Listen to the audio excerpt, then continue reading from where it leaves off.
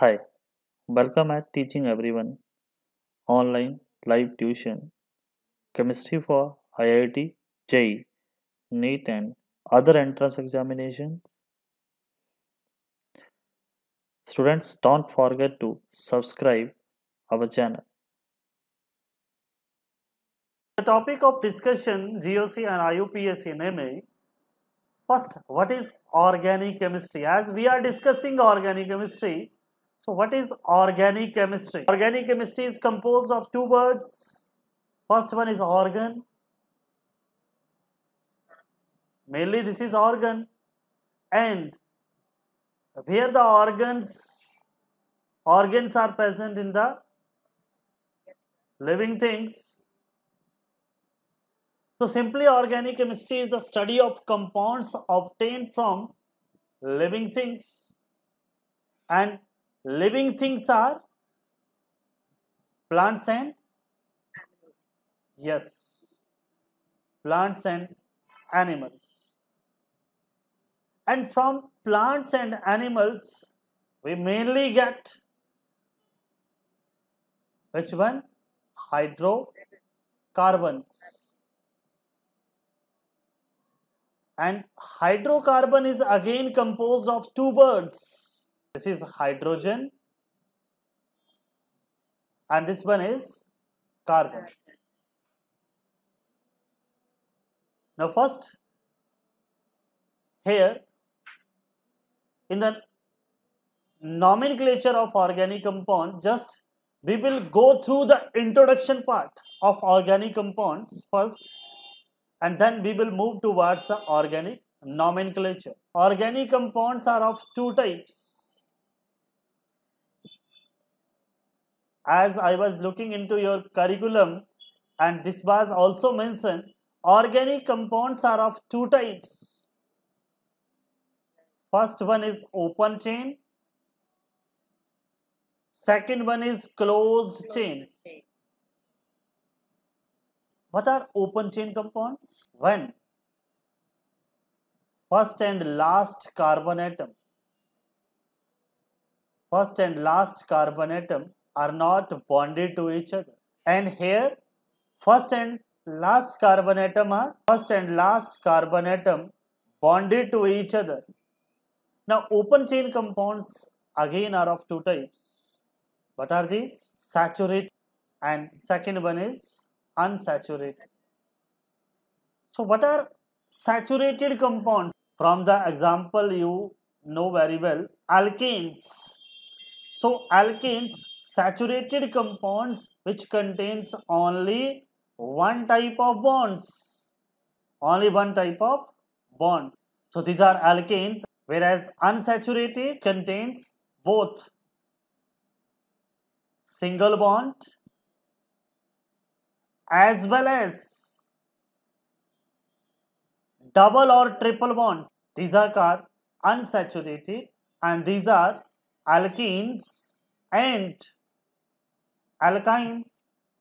So here now this is a alkene. All the bonds are single. So it's saturated. It's saturated. In case of alkene, there are more than one type of bonds unsaturated in case of alkynes in case of alkynes there is more than one type of bonds. These are again unsaturated. Now second one is closed chain compound. Closed chain compound. What are closed chain compounds? In which first and last carbon atoms are bonded to each other. So these are of two types, homocyclic. And second one is heterocyclic. So from the name homo means same, when ring is completed with the same atom, that is with the carbon atom. So that are called homocyclic, whereas in case of heterocyclic, when ring is completed with other than carbon atom, like nitrogen, oxygen, etc., such compounds are called heterocyclic. Now, homocyclic compounds again, three categories. What are these? Aromatic, non-aromatic, and third one is anti-aromatic.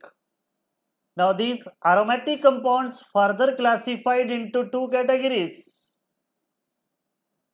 Benzoid and second one is non-benzoid. So what are benzoid compound? At least one benzene ring is called benzoid, non-benzoid which do not contain benzene ring.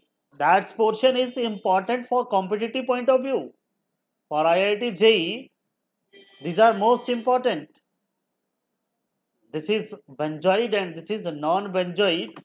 And can you give the example of benzoid compounds? Naphthalene, anthracene. In naphthalene, two benzene ring. Anthracene, there are three benzene ring. And there is also phenanthracene. This is also a three benzene ring compound. And what is the example of non-benzoid aromatic compounds? Cy cyclopropenyl cation, cyclopentadienyl anion. This is also aromatic. And last one is tropylamine, cyclohepta triene cycloheptatriene this is cyclopentadiene this is so what about heterocyclic?